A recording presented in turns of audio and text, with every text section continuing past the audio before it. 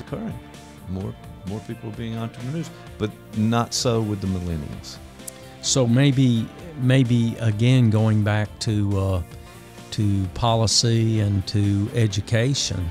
Uh, is is it time in education and also time for policymakers to take a look at at where you know where do we want to go and then what kinds of things do we do to get there I, th- you know I, something uh, someone said to me and and this was uh, and and I have a habit of going back well when I graduated from college we didn't have anything had to go back and uh, began a 25 year uh, love affair with graduate school. I, I was constantly getting new degrees, and you know I, the list of them expanded depending on what I was doing at the time, right?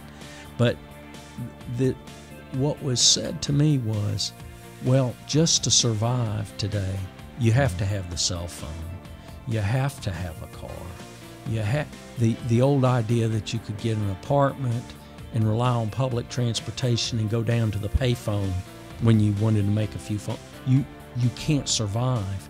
And these things all have costs. And so the costs in those terms are so much higher i don't really know what to make of that i i uh, uh, I, I don't think we'd all want to go back and give up our smartphones and give up our, our cars, but at the same time, uh, maybe maybe the time frame, the culture we lived in was easier on us at, at that age. So, if if that is in fact true, then like a lot of uh, problems and issue and uh, challenges, uh, maybe it's time for a hard look at uh, at how to how to get to where we want to be.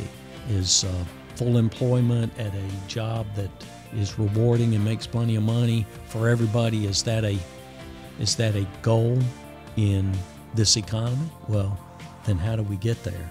How, is having more entrepreneurs a goal? How do we get there? I know uh, previous uh, governments have mm-hmm. set uh, real uh, uh, goals and uh, visions, and then we seem to find ways to attain those. So maybe that's where we are now.